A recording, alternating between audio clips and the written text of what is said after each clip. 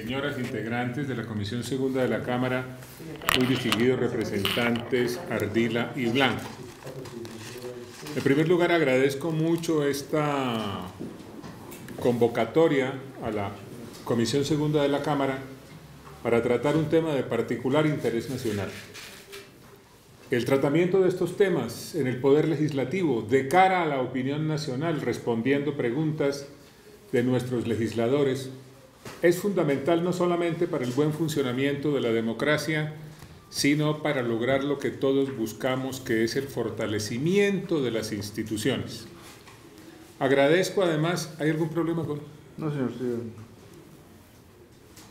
Perdón, hay, agradezco además el tono constructivo, el tono propositivo, el tono crítico, pero con indicaciones y sugerencias que han tenido en sus intervenciones los representantes Ardila y Blanco. No hay duda de que este es el tono conveniente. No hay duda acerca de que esto es lo que mejor sirve a los altos intereses nacionales, razón por la cual no puedo, no puedo menos que extenderles a los dos representantes citantes una felicitación en nombre del gobierno y a través de quien les habla en nombre del señor presidente de la República. En tercer lugar, sí debo decirle, querido presidente, que voy a tener que omitir muchos temas. En 20 minutos me va a ser imposible tratar detalladamente todos los asuntos que han sido puestos a consideración de la opinión nacional y de la Comisión Segunda por la naturaleza que ellos tienen. Trataré entonces Señor ministro, tómese el tiempo que considere necesario, no se preocupe, el tiempo que considere necesario. Le agradezco, le agradezco muchísimo, señor presidente. Ni más. Le agradezco, le agradezco en el alma. En primer lugar, es verdad que el debate que hoy nos ocupa se ha dado en distintas ocasiones a lo largo de la historia nacional. Eso es cierto, lo cual muestra dificultades en lo que tiene que ver con nuestra estructura institucional en esta materia. No voy, por supuesto, a referirme a la naturaleza de los debates históricos por obvias razones y porque tengo el propósito de concentrarme en los acontecimientos del presente para efecto de dar respuesta a las múltiples inquietudes, legítimas ellas, que plantearon los honorables representantes Ardila y Blanco. No hay duda de que tenemos que hacer todos un gran esfuerzo para fortalecer la inteligencia y la contrainteligencia. No hay duda de que tenemos que hacer todos un gran esfuerzo para continuar avanzando en el fortalecimiento, en la cohesión, en la unidad de nuestra fuerza pública. No hay duda de que todos los pasos que se den tienen que estar enmarcados dentro de las normas que fueron definidas por el legislativo colombiano cuando se promulgó la ley de inteligencia y contrainteligencia, que es el marco legal que define lo que tienen que ser las actuaciones en esta materia. Dicho lo anterior, debo señalar lo siguiente, presidente y muy apreciados representantes. En primer lugar, uno de los puntos centrales de la propuesta programática que el presidente Duque le presentó a los colombianos fue la legalidad. Esa es, además, no solamente un aspecto fundamental de su programa de gobierno, sino la consecuencia de un esfuerzo gigantesco que hizo el hoy presidente de la República en su condición de candidato para estructurar un programa que respondiera a los más sentidos anhelos y necesidades y reclamos legítimos de los colombianos. Y esto no surgió de la noche a la mañana. La legalidad como uno de los pilares de la propuesta política del presidente Duque fue la consecuencia de un largo estudio, de un proceso de elaboración participativo, en contacto permanente con las distintas regiones de Colombia, en diálogo constante con los colombianos en todas las regiones de la nación, durante los cuales auscultó el sentimiento nacional, identificó las principales preocupaciones y de esa manera fue definiendo la propuesta programática que lo llevó a ser escogido en primer lugar como candidato de Centro Democrático, en segundo lugar a ganar la consulta popular en la cual participaron personas tan importantes como la hoy vicepresidente de la República y el hoy embajador ante la Organización de Estados Americanos, lo llevó esa propuesta a ganar la primera vuelta y a ganar también la segunda vuelta. ¿Qué quiero subrayar con esto? Lo que quiero subrayar con esto es que el presidente Duque llegó a la jefatura del Estado colombiano después del mayor número de procesos de escrutinio popular de que se tenga registro en la historia reciente de la democracia colombiana. Y el propósito permanente a través de sus acciones, a través de su prédica pública con respecto a la legalidad, apunta al cumplimiento de ese que es un compromiso que se adquirió con los colombianos. Y en tratándose de legalidad, es muy oportuno este debate porque aquí de lo que se trata es de avanzar en el cumplimiento de los aspectos legales que presiden las funciones de inteligencia y de contrainteligencia.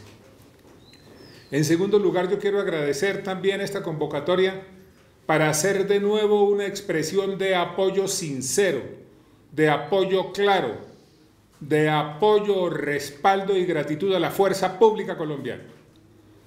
Nada de lo que aquí se diga se entenderá y así lo he comprendido en las estupendas intervenciones de los representantes citantes como un señalamiento a la fuerza pública como institución, todo lo contrario. De lo que se trata, y ese es un esfuerzo en el cual coincidimos, es de identificar individualidades que eventualmente hayan violado la ley o hayan violado los reglamentos. La fuerza pública está inscrita en la historia de la nación, en la historia de la República, como un elemento central que garantiza estabilidad, que garantiza integridad, que garantiza soberanía, que, que garantiza el funcionamiento del sistema democrático colombiano, de manera que todo lo que yo diga hoy aquí tiene que ser escuchado dentro de ese marco conceptual. Aquí estoy para defender a la fuerza pública colombiana y naturalmente para dar las explicaciones que requiere el Congreso y que requiere el país respecto de estos asuntos que tanto nos preocupan a todos. Y en tercer lugar tengo que decir en esta materia, señor presidente, que estoy aquí también para defender la tarea de inteligencia y la tarea de contrainteligencia. La tarea de inteligencia es fundamental también para la estabilidad de la nación, es fundamental para hacerle frente a las amenazas internas y externas. Es fundamental para garantizar la estabilidad de nuestro sistema democrático, que es el fundamento del respeto a los derechos, a los cuales me referiré también en virtud de algunos planteamientos de índole constitucional que se hicieron en este debate. Hago esa mención porque es fundamental para que se comprenda bien cuál es el proceso que va en marcha, que tiene que ver con muchas, si no todas, las inquietudes planteadas por los honorables representantes citantes. Esta comunicación está fechada el 12 de diciembre del año 2019. Es una comunicación que quien les habla, en su condición de ministro de Defensa Nacional, le dirige al entonces comandante del Ejército Nacional, señor general Nicasio de Jesús Martínez Espinel. 12 de diciembre del año 2019. ¿Cuál es el contenido, señor presidente, de esa comunicación? Es una nota que le envío al comandante del ejército por instrucción del señor presidente de la República, mediante la cual se solicita que se adelante una auditoría a las actividades de inteligencia y contrainteligencia que se han venido efectuando durante los últimos 10 años. Subrayo 10 años para afirmar que el gobierno nacional no está viendo esta circunstancia apenas como un hecho de naturaleza coyuntural, sino con el propósito de ir más atrás para efecto de identificar bien a lo largo de estos años y si es necesario ir más atrás, se iría más atrás, a fin de dar los pasos que permitan fortalecer desde todo punto de vista integralmente las capacidades de inteligencia y de contrainteligencia. Subrayo esta afirmación para efecto de referirme a lo que señaló con razón el representante Ardila quien hizo énfasis en su muy brillante intervención acerca de que no se trataba de un asunto de naturaleza coyuntural, sino que representaba características de índole estructural. Estamos de acuerdo, honorable representante Ardila, y por esa razón así se hizo la solicitud del 12 de diciembre. ¿Qué se le pidió al señor comandante del ejército en su momento? Verificar y evaluar el cumplimiento de la Constitución, la ley, los planes, programas, proyectos, objetivos, procesos y procedimientos en todos los niveles de la organización en las actividades de inteligencia y contrainteligencia. Desde un principio entonces, en lo que tiene que ver con el cumplimiento de mis tareas, siguiendo las instrucciones del señor presidente, hemos querido ir al fondo del tema en cuanto dice relación con nuestra estructura institucional, en cuanto tiene que ver con las capacidades de inteligencia y de contrainteligencia que, como ya se señaló, son fundamentales, no solamente para garantizar integridad, soberanía, vigencia del orden democrático, sino también para garantizar la solidez del el ejército y la solidez de la fuerza pública. En segundo lugar, el 13 de enero del año 2020 se dio apertura a la indagación disciplinaria por parte del Comando General de las Fuerzas Militares. Ese proceso fue entregado el 6 de mayo a la Procuraduría General de la Nación a través de la Procuraduría Auxiliar para Asuntos Disciplinarios, atendiendo el poder preferente. Y ese mismo día, el 13 de enero, se compulsaron copias a la Fiscalía General de la Nación. ¿Qué quiero señalar con el énfasis que hago en estas fechas? En primer lugar, que la tarea de auditoría que solicitó el gobierno tiene un mes de antelación en cuanto a su fecha a la primera publicación de la revista Semana. ¿Por qué de manera inmediata se profundiza en la solicitud de la ampliación de esa auditoría, como consta también en notas que reposarán en la Secretaría de la Comisión Segunda de la Cámara para que quede allí debidamente registrado, queden registrados los términos de este debate. Se profundiza porque naturalmente las denuncias periodísticas hay que tomarlas en cuenta. Se profundiza porque naturalmente las denuncias periodísticas no pueden echarse al cesto de la basura. Se profundiza porque naturalmente ahí puede haber o no elementos de juicio adicionales cuya naturaleza, cuya fuerza, cuyo poder, cuya capacidad desde el punto de vista institucional en el orden probatorio le corresponde definir a las autoridades competentes tanto en materia disciplinaria como en lo que tiene que ver con lo penal. ¿Qué pasó inmediatamente después? Que el comandante general de las fuerzas militares, el 28 de febrero del año 2020 ordenó a la Inspección General de las Fuerzas ampliar la revista para verificar diferentes aspectos que de manera específica se mencionaron en el documento de inspección inicial. ¿Esto por qué?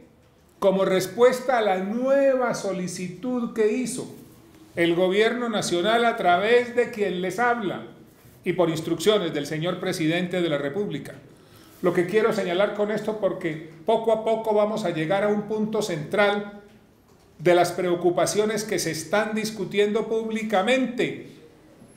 Indicará no solamente el itinerario, la razón de ser, sino la manera como a lo largo de esos días se fueron configurando los elementos que llevaron a anunciar algunas decisiones meses después. ¿Por qué lo señalo? honorable representante Ardila, solamente para indicarle que aquí no hubo improvisación en esas decisiones, que no fue que salió una publicación y salimos corriendo a tomarlas, que no fue una portada la que nos llevó a hacer los anuncios ante la opinión pública, sino que se venía adelantando ya un trabajo dentro del marco de las competencias que tiene el ejército, dentro del marco de las competencias que tiene el gobierno nacional que nos condujo a hacer los anuncios correspondientes una vez se consolidaron todos esos elementos de juicio que se fueron construyendo poco a poco desde el día 12 de diciembre del año 2019. ¿Qué pasó después, honorable señor presidente y honorables representantes? Que tras las verificaciones de la Inspección General de las Fuerzas Militares se recomendó iniciar al interior del Ejército Nacional acciones disciplinarias, las cuales fueron acatadas y se iniciaron tres investigaciones, aperturadas el 30 de abril, el 2 y 11 de mayo del año en curso. Esas investigaciones avanzan y se encuentran algunas de ellas en etapa de instrucción, otras están en etapas más avanzadas. ¿Qué se quiere decir con esto, honorables representantes? Lo que se quiere decir es que se fueron tomando poco a poco decisiones en distintas áreas propias de estas materias al interior del ejército colombiano. El 4 de mayo, ¿qué se hizo? El 4 de mayo se entregó en copia completa la inspección realizada por la Inspección General a la Fiscalía Séptima Delegada ante la Corte Suprema de Justicia. ¿Qué señala esto, honorables representantes? que lo que se le ha dicho al país reiteradamente en el sentido de que el ministerio y el ejército tomarán según los elementos de juicio de que dispongan y dentro de sus competencias las decisiones que sean del caso irá acompañado de un apoyo permanente y colaboración permanente con los otros poderes para efecto de que esas investigaciones avancen con la celeridad que el país espera que dichas investigaciones avancen. Luego, ¿qué pasó? La Inspección General del Comando de las Fuerzas Militares adelantó las verificaciones de acuerdo a su competencia y entregó los originales de las mismas a la Corte Suprema de Justicia. ¿Qué se quiere decir con esto? Que el compromiso de colaboración plena con la Procuraduría, con la Fiscalía y con la Corte Suprema de Justicia en lo que sea de su competencia, es un compromiso que se ha ido cumpliendo paso a paso a lo largo de estos días y déjenme decirles que se continuará cumpliendo, porque aquí lo fundamental es llegar a la verdad, llegar al fondo y permitir que los colombianos, el poder legislativo y todos los que se interesan por la vida nacional conozcan exactamente qué fue lo que pasó, a fin de que, como consecuencia de ese conocimiento, queden debidamente identificadas e individualizadas las responsabilidades en que puedan haber incurrido los que violaron la ley o violaron los reglamentos. El 11 de mayo de 2020, el Comando General de las Fuerzas Militares ordenó la programación y práctica de una revista de inspección informal puntual al subsistema de inteligencia y contrainteligencia del Ejército Nacional para ampliar la revista de inspección. Se pidió la auditoría, se pidió la ampliación de la revista y naturalmente empezaron a producirse los hechos institucionales propios para dar cumplimiento a esa solicitud. Todo esto está documentado, señor presidente. Todo esto está documentado, señores miembros de la Comisión Segunda, y estos documentos, para efecto, lo repito, de la historia del debate, serán puestos a disposición de la Secretaría de la Comisión. Adicionalmente, la Inspección General del Ejército, como máxima instancia de control de la fuerza, ha realizado tres inspecciones a los procesos de inteligencia y contrainteligencia desde que se inició el proceso que solicitó el gobierno nacional y por supuesto durante estas etapas en las cuales se han conocido las denuncias eh, periodísticas. En materia de personal, ¿qué se ha hecho? Y esto lo subrayo, honorable representante, para que quede claro que las decisiones sí han tenido que ver con personal, por supuesto, pero no solamente con eso. Y empiezo por esta mención para ir posteriormente a la indicación de qué se ha hecho en otras áreas. Es decir, lo que quiero, honorable representante Ardila, es darle claridad y tranquilidad en el sentido de que lejos, lejos del gobierno, de la idea del gobierno está creer que solamente tomando unas decisiones de naturaleza administrativa con fundamento en las capacidades propias discrecionales de las cuales se dispone, vamos a llegar al punto ideal que es el que buscamos de fortalecer las capacidades de inteligencia y de contrainteligencia. Ese fue el abrebocas de lo que iba a decir con posterioridad, que apunta a lo siguiente, honorable representante. ¿En qué otras áreas se ha venido trabajando desde entonces? En primer lugar, en acciones para el fortalecimiento de la inteligencia. ¿Qué se ha hecho? Se dispuso la conformación de un comité de revisión estratégica y de innovación con la participación de más de un centenar de especialistas nacionales y validadores extranjeros con dedicación exclusiva. Como producto del análisis de 13 grupos de trabajo por un periodo de varios meses, ¿qué se determinó? 25 acciones específicas, siete de ellas en cuanto al fortalecimiento de nuevos métodos de control y otras encaminadas a la reestructuración de algunas unidades y dependencias en niveles estratégico, operacional y táctico. Con esto lo que quiero subrayar, honorable representante, es que se integraron unos grupos de trabajo en cumplimiento de qué? De las solicitudes del gobierno, siguiendo instrucciones del presidente Duque. ¿Eso ya ha producido resultados? Sí, empieza a producir resultados desde el punto de vista de la estructura interna. ¿Cómo se manifiestan esos resultados? 25 acciones específicas, 7 de las cuales apuntan al fortalecimiento de nuevos métodos de control. Y dentro de esta misma tarea de fortalecimiento de la inteligencia militar, el 8 de mayo de 2020 el Comando General de las Fuerzas, mediante documento oficial, impartió órdenes e instrucciones al Comando del Ejército en relación con el marco jurídico, inteligencia y contrainteligencia y las fuentes, agentes, métodos, medios, procesos y procedimientos en estricto cumplimiento a la ley.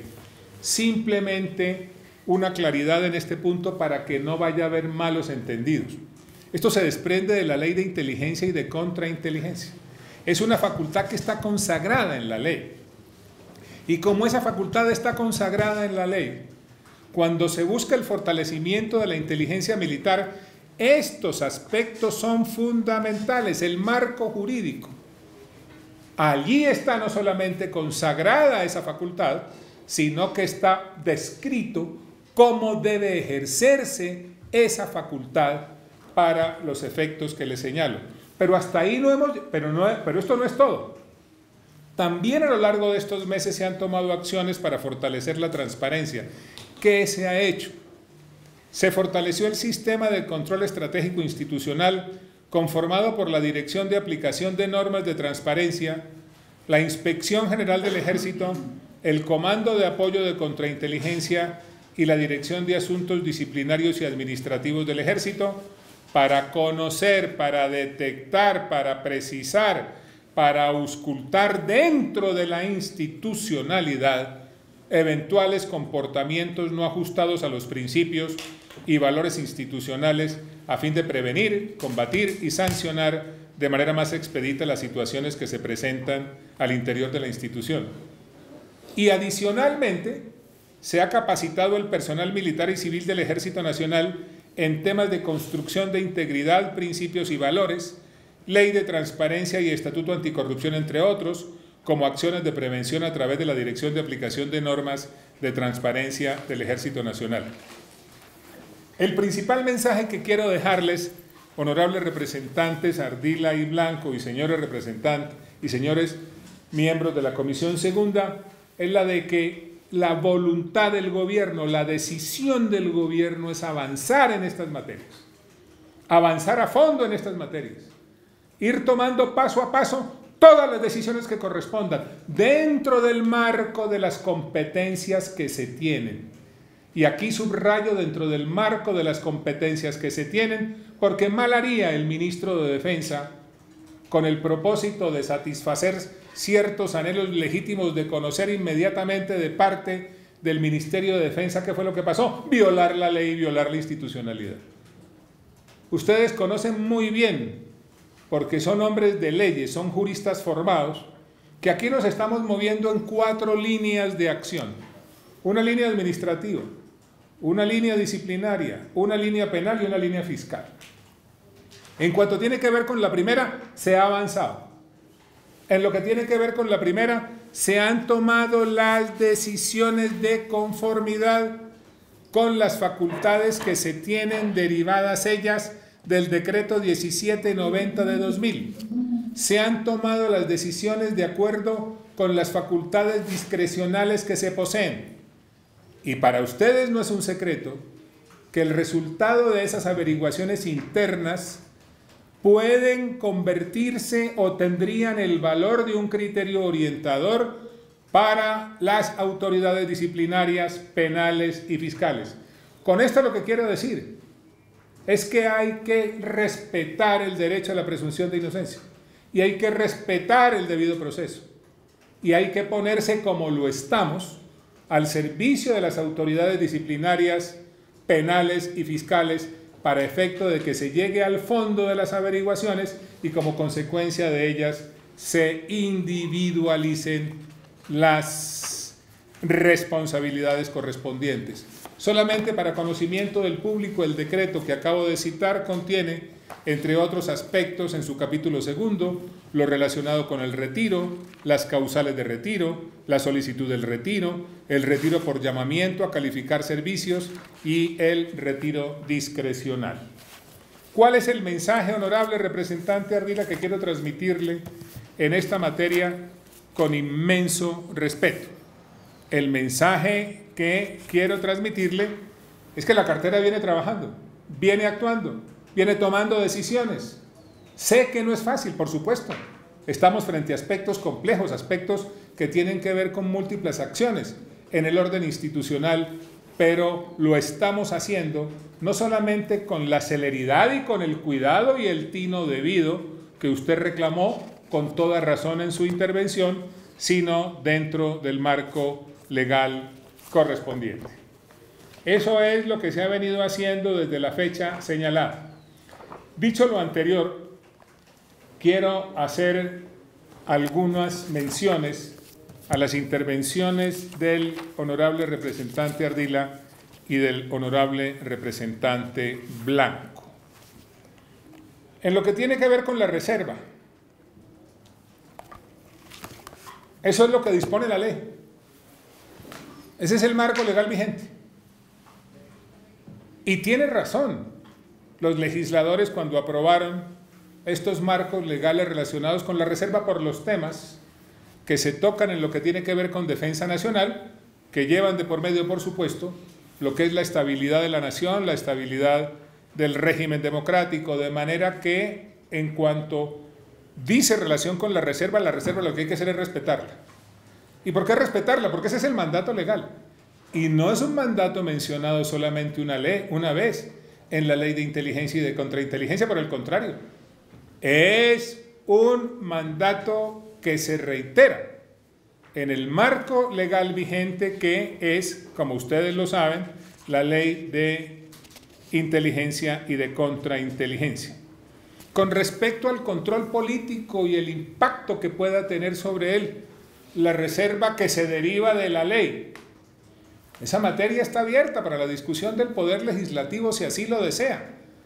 Pero hoy, a esta hora, en lo que tiene que ver con el asunto de la reserva, no hay alternativa distinta a respetar el marco legal vigente como corresponde en todas las materias que se derivan de asuntos de naturaleza institucional.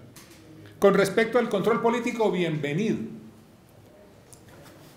Yo he hecho mi carrera pública en el espacio amplio del debate democrático y la he hecho con respeto a la división de poderes porque es perfectamente claro y yo sí que lo comprendo por lo que es la experiencia que tengo ya en estas materias, que esa división de poderes y su colaboración armónica, por supuesto, eso no debemos olvidarlo para conseguir los fines del Estado, es fundamental para el fortalecimiento democrático.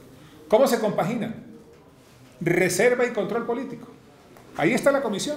Ahí está la comisión que se creó para hacerle seguimiento a los asuntos de inteligencia y de contrainteligencia. y cualquiera circunstancia que no pueda ser tratada por mí en este debate, por esas razones no tengo ningún inconveniente si esa comisión es convocada para, compartirlo en ese marco institucional definido para estas materias con las características propias de las sesiones de esa comisión para hacerle seguimiento. En cuanto al plan de mejoramiento, le he enunciado los pasos que se están dando. Poco a poco hemos ido avanzando en ellos y tenemos el propósito de imprimirle toda la celeridad necesaria para que logremos finalmente construir un esquema que nos permita fortalecer esas capacidades, que nos permita fortalecer los controles, que nos permita fortalecer los protocolos, porque coincido con ustedes en el sentido de que la legitimidad es la base fundamental de la credibilidad y esta tiene que ver con la transparencia de las fuerzas en su actuar en distintas, en distintas materias. Con respecto a las filtraciones permanentes, de acuerdo, qué bueno sería que viviéramos en un país en el cual no se filtre nada. Infortunadamente lo que se ve permanentemente es la filtración y eso es un delito. Eso está castigado por la ley. Eso está consagrado en la ley de inteligencia y de contrainteligencia como una actitud que no puede aceptarse en materias tan delicadas por los intereses que defienden, por el bien jurídico que se protege en estas condiciones. Con respecto a las facultades, honorables representantes ejercieron las facultades discrecionales, con las características que éstas tienen. Pero usted comprenderá que cuando quedan de por medio procesos de naturaleza disciplinaria y de naturaleza penal y de naturaleza fiscal, es allí en esos escenarios en los cuales se adelantan las investigaciones correspondientes que van a conducir al señalamiento o individualización de quienes hayan violado la ley o los reglamentos. Antes de que ello ocurra, la tarea administrativa interna, con base en las competencias que se tienen, posee el carácter de criterio orientador, según la propia ley de inteligencia y contrainteligencia para las autoridades de naturaleza disciplinaria y de índole, y de índole penal. ¿Y eso por qué lo hago? Por lo para, para lo que usted reclama. ¿Qué reclamó usted? Ojo con los requisitos. Cuidado con dar un paso que de, que de pronto ponga en peligro al Estado colombiano o lo someta a eventuales decisiones de las autoridades judiciales en materia de compensaciones o en materia de indemnizaciones por haber actuado de manera precipitada. Se hace por eso, yo comprendo, honorables representantes citantes y honorables representantes, que esto que señalo puede no ser satisfactorio en términos del legítimo y comprensible afán periodístico y el afán de conocer la verdad. Eso lo comprendo. Pero es que aquí tenemos un aparato institucional que hay que respetar. Aquí tenemos unos canales que hay que respetar.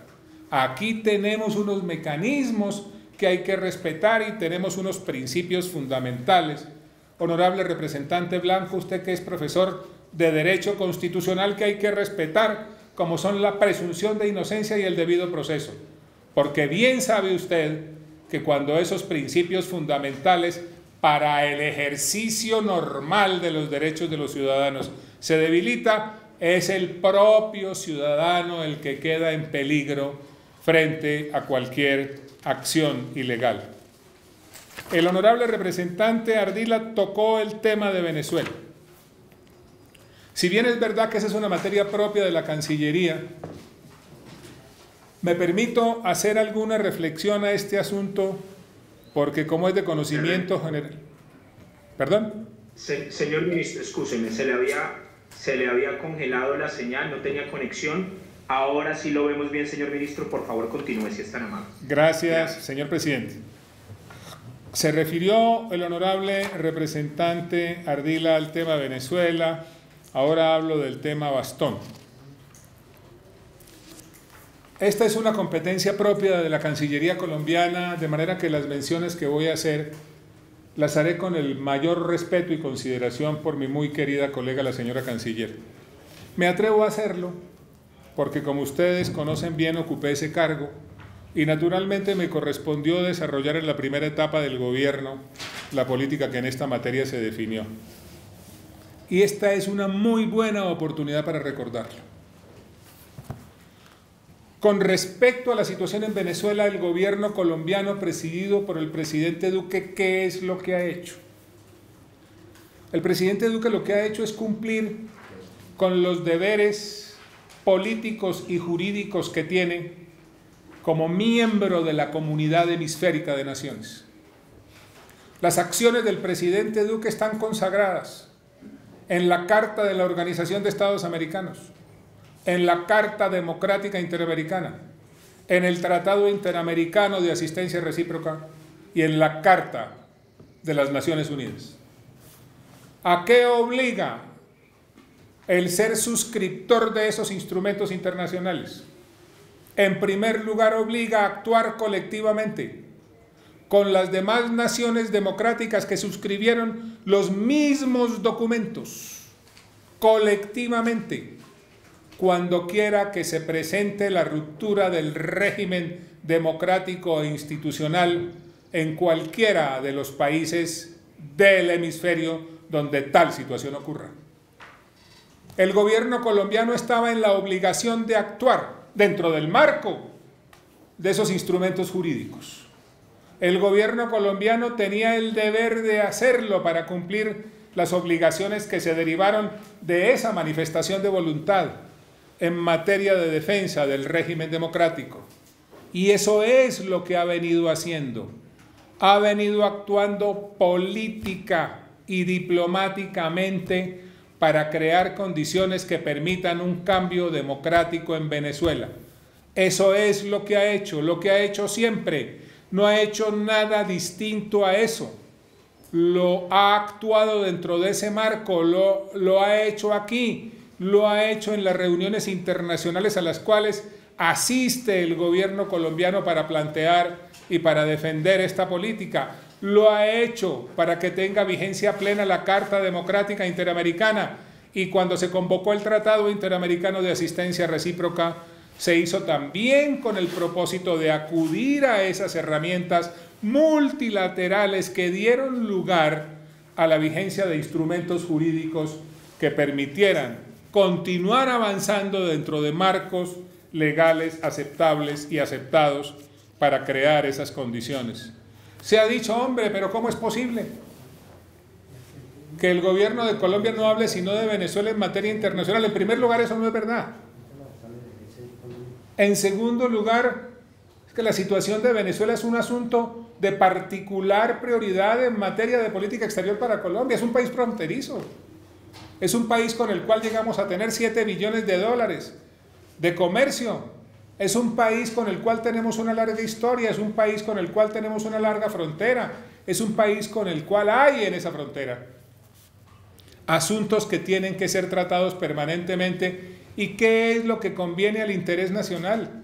Lo que conviene al interés nacional es que se normalice gracias a la acción de la democracia transparente y plena en Venezuela el ritmo de la relación bilateral para efecto de poder poner otra vez en marcha, otra vez, esos mecanismos binacionales que tienen que ver con seguridad, que tienen que ver con comercio y que tienen que ver con múltiples materias que son de tratamiento normal por parte de los países que comparten frontera. Con respecto a otros actores que tienen que ver con esto, Rusia, Irán, China, la posición de Colombia es perfectamente conocida. Es perfectamente conocida, hay relaciones bilaterales con ellos, pero la acción de Colombia ha apuntado a que se conozca bien, se conozca en detalle la razón de ser de la política del gobierno colombiano en lo que tiene que ver con el régimen dictatorial de Maduro y con el propósito de contribuir de la mano de otras naciones democráticas a que se creen condiciones para que haya un cambio democrático en, en ese país. En relación con Bastón, Se ha hablado mucho de bastón y empezó a especularse con bastón. ¿Qué fue lo que hicimos? Decirle a los colombianos, hombre, sí, bastón existe. Hombre, sí, es una operación de contrainteligencia. Sí, se puso en marcha en el año 2017. Se adelantó en el 18. Se adelantó en el 19 y se sigue adelantando en algunos aspectos específicos. ¿Es una operación como tal? No. Son una serie de misiones de trabajo que tienen que ver con oficiales del ejército de distintos rangos. Es una, son misiones de trabajo de contrainteligencia que nunca para. La contrainteligencia funciona permanentemente. Unas veces funciona de arriba hacia abajo y otras veces de abajo hacia arriba. Dicen los expertos que la mayoría de las veces funciona más en el segundo sentido que en el primero. ¿Por qué? Porque llegan notas, o llegan anónimos, o llegan comentarios, o llegan insinuaciones que podrían poner en peligro la integridad de la institución y que obligan a que se pongan en marcha los mecanismos de contrainteligencia que también están reglados, que hacen parte de las normas que están consagradas en la ley de inteligencia y de contrainteligencia. ¿Qué fue lo que hicimos? Decirle al país, sí señor, esto existe. Hay que acabar con ese secretismo. Existe, está en marcha en muchos casos y ya ha producido múltiples resultados. Múltiples resultados en distintas ocasiones desde el punto de vista de las decisiones que se han tomado, desde el punto de vista de las investigaciones que se han abierto, desde el punto de vista del llamado a calificar servicios. Simplemente para información de ustedes tengo que decirles que esa, esas misiones de trabajo de contrainteligencia han llevado a la judicialización de 13 personas. Se han tomado 38 decisiones administrativas. Hay varias en marcha. Se han dejado a disposición de las autoridades durante el gobierno del presidente Duque, bajo este marco y bajo otros, 141 integrantes de la institución y se han tomado 201 decisiones administrativas. ¿Estas misiones de trabajo van a continuar, honorables representantes? Sí. Todas las misiones de trabajo que se adelanten de aquí en adelante se archivarán con carácter secreto con el nombre de bastón. No. Varias de las misiones de trabajo que se van a continuar adelantando y que están archivadas bajo este nombre van a quedar archivadas bajo ese nombre secreto. Sí. Hay muchas otras misiones de trabajo que se han archivado con nombres distintos a bastón? Sí. ¿Se trata de actividades que se adelantan permanentemente para garantizar la integridad de la fuerza? Sí. ¿Y se van a continuar adelantando? Sí. ¿Respetando qué? Respetando las normas que en esta materia consagra la ley de inteligencia y de contrainteligencia. Eh, con respecto con respecto a algunas eh, reflexiones que hizo el honorable representante Blanco, debo hacer las siguientes consideraciones. En primer lugar, honorable representante, gracias por su tono, gracias por esa manera conceptual que yo respeto mucho, con la cual usted hizo su intervención, y gracias además por haberla iniciado dando un mar, dando la visión del marco institucional que nos rige. Y aquí hago una muy breve reflexión. Si algún esfuerzo tenemos que hacer los colombianos, es avanzar en el mayor y mejor conocimiento de la institucionalidad. Tenemos que volver a eso. Eso hay que reconstruirlo y hay que fortalecerlo. Porque si no avanzamos en el mayor y mejor conocimiento de lo que es la estructura institucional, muchas veces los debates, los debates se desvían. Y cuando los debates se desvían porque salen del marco institucional, que es donde hay que dar respuestas, naturalmente lo que queda de esa desorientación y de esa desviación no le conviene a Colombia. Y le agradezco que haya tocado, como corresponde la Constitución Nacional, porque debo decirle, honorable representante Blanco, que si usted tiene apego a ella, como la tienen los colombianos, independientemente de la opinión que se posea sobre determinadas decisiones, imagínese usted lo que sentirá un colombiano como yo, que tuvo el inmenso honor inmenso honor de ser uno de los 72 colombianos que suscribió la carta que hoy nos rige. Recuerdo bien lo que fue la razón de ser de esos debates. Recuerdo bien lo que fue el debate acerca de los derechos, de los derechos fundamentales. Pero recordemos hoy, honorable representante Blanco, que en aquella oportunidad histórica, ¿qué fue lo que aconteció? Lo que aconteció fue que una particular coyuntura del país, dolorosa como pocas, dio lugar al surgimiento de un momento de opinión que condujo a que se convocara la Asamblea Nacional Constituyente, escenario en el cual se recogieron muchas de las aspiraciones de los ciudadanos que ya eran claras, que habían sido expresadas de manera reiterada y que infortunadamente no habían podido llegar al marco constitucional vigente porque la Corte Suprema de Justicia en su momento había tomado decisiones que indicaron la inexequibilidad de determinados asuntos. ¿Qué se reclamaba entonces? Descentralización. ¿Qué se reclamaba entonces? Acabar con el centralismo agobiante. ¿Qué se reclamaba entonces? Una mayor carta de derechos. ¿Qué se reclamaba entonces? Mecanismos para hacer efectivo el ejercicio de esos derechos. ¿Qué se reclamaba entonces? Democracia participativa. ¿Qué se reclamaba entonces? Una nueva estructura del Poder Judicial. ¿Qué se reclamaba entonces? Garantías para efecto de que el traslado de recursos a las regiones para hacer eficaz y efectiva la descentralización no pudiera ser desconocida por decisiones anteriores. ¿Por qué lo señalo?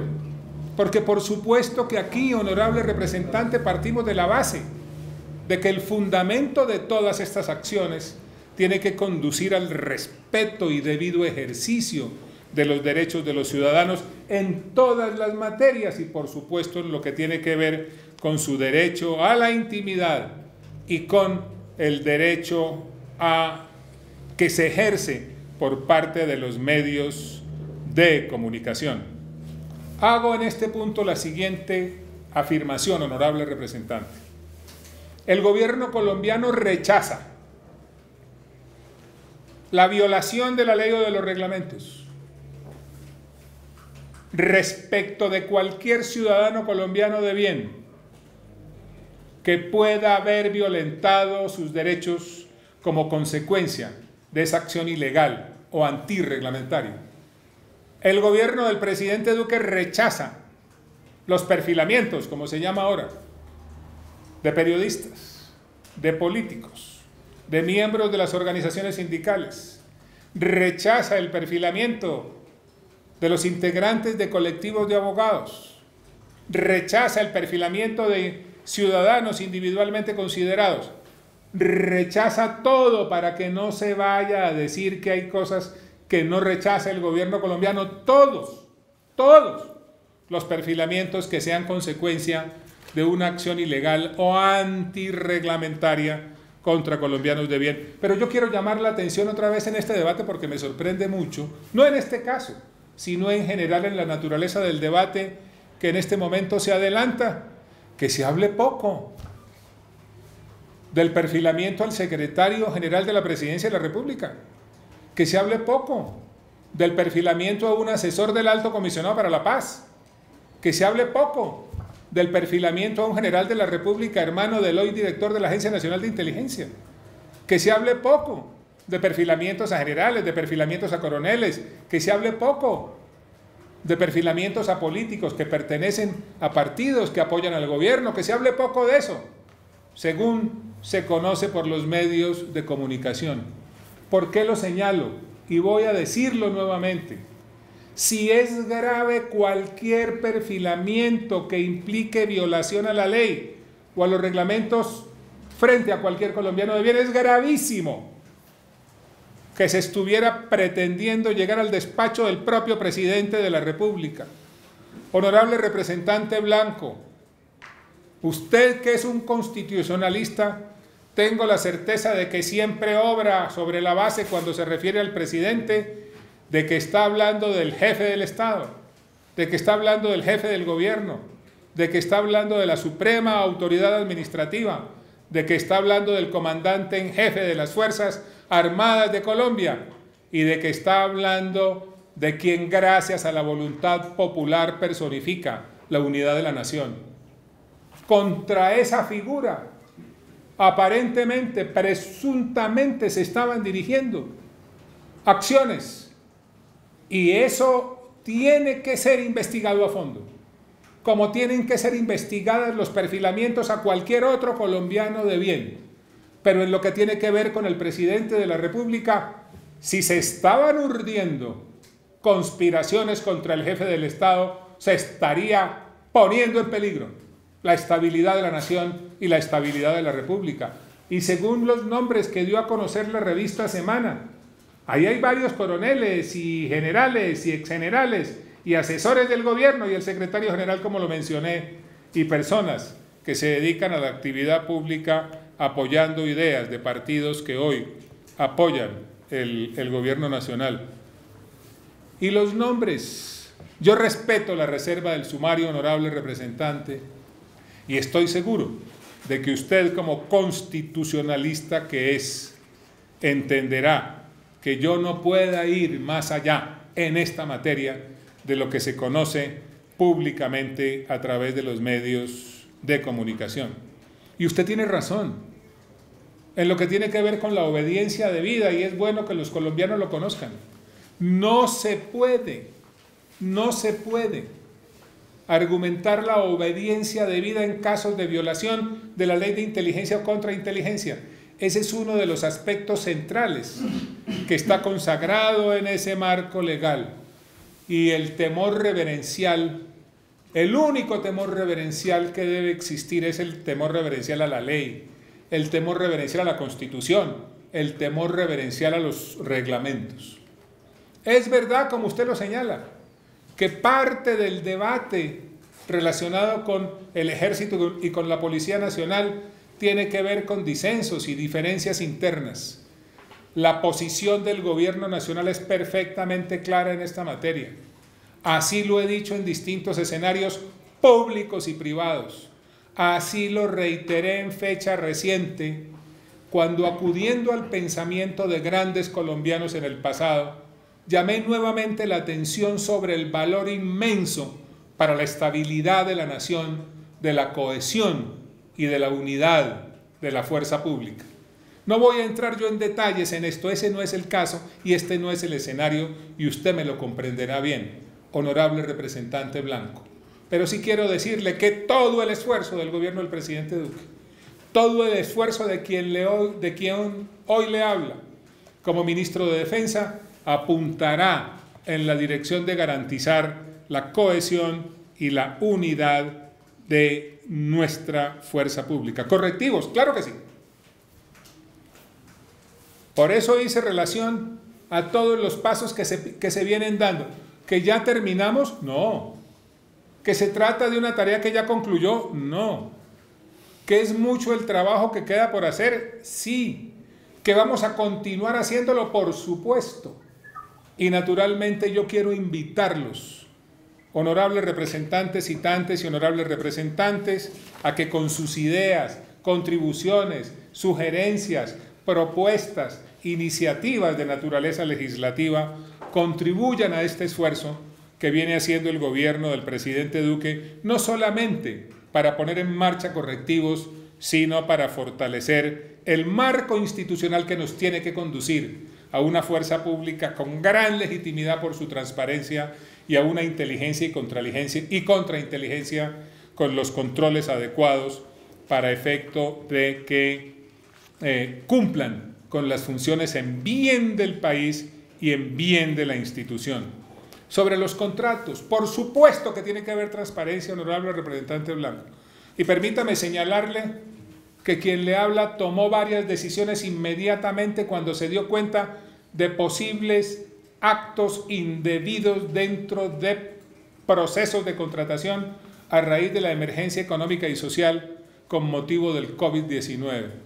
Se cambió la estructura de esa contratación, se volvió a centralizar, se separó del cargo a quienes eran las cabezas de eventuales hechos indebidos para que avance la investigación y sin prejuzgar puedan llegarse a las conclusiones que corresponden. En relación con lo que tiene que ver con la estructura misma de las inteligencia y contrainteligencia, está en la ley de inteligencia y contrainteligencia. No voy a darle lectura detallada porque es un marco legal que lo que hay que hacer es cumplir, pero en cuanto tiene que ver con la pregunta que usted formuló, honorable representante Blanco, ahí están los nombres, ahí están los nombres de las personas que ocupan los cargos y ahí está la reiteración de que esa estructura que hay en el ejército, en la Armada, en la Fuerza Aérea Colombiana, en la Policía Nacional obedece a lo que son las disposiciones que en esa materia están consagradas en la ley. De igual manera está también lo relacionado con el presupuesto, con la manera como éste se maneja y con los controles que tiene. Y también está señalado lo relacionado con la cooperación internacional en materia de inteligencia, que se refleja en esencia en entrenamiento, asesoría y capacitación. Señor presidente, no me extiendo más, le agradezco en el alma su generosidad, pero no puedo concluir sin hacer la siguiente afirmación. La política del gobierno del presidente Duque con fundamento en el pilar de la legalidad es apoyo total, apoyo pleno a la fuerza pública. En segundo lugar, cero tolerancia con cualquier acto violatorio de la ley o de los reglamentos. Tercero, de lo que se trata es de saber la verdad, de llegar al fondo. Aquí no se trata de identificar chivos expiatorios ni de culpar inocentes. De lo que se trata es de que Colombia siga teniendo una fuerza pública querida, respetada, admirada, produciendo resultados como lo está haciendo ahora en medio de tantas dificultades como vive el país. Una fuerza pública que cumple con su tarea misional y constitucional y está dando resultados. Ya los anunciamos, los estamos anunciando todos los días. Honorable representante, y no habrá lugar del territorio nacional al cual no acuda la fuerza pública para garantizar la vigencia del Estado de Derecho en medio de dificultades y de limitaciones. Vamos a seguir haciendo el esfuerzo en medio de, en medio de esta coyuntura para contribuir a que se respeten las decisiones del jefe del Estado, que lo que buscan es prevenir la propagación de la pandemia y salvar vidas. Vamos a seguir reorientando capacidades para efecto de fortalecer el sector de la salud y va a seguir la fuerza pública día a día con abnegación, adelantando una tarea humanitaria para contribuir al mejor estar de los colombianos en situaciones tan difíciles como las que estamos atravesando. Le agradezco mucho su comprensión y su generosidad, señor presidente. A usted, señor ministro, por su muy clara e importante